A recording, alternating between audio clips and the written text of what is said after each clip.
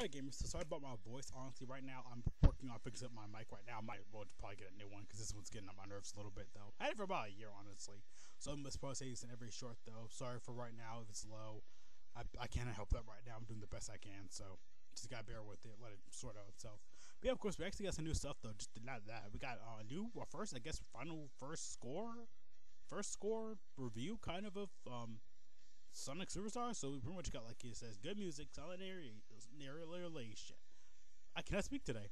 Silent narration, so I guess like quiet, but you know, keeping the background noise kind of funkin', you know, hype and you know, Sonic stuff. Took on what 24 hours, yeah, 24 hours to beat the game, but 31 hours for extra sessions, I guess that. Um, different levels, original um gameplay. Oh, dang, yeah, this got really good though. I'm liking it. So I'm liking it. 32 out of 40.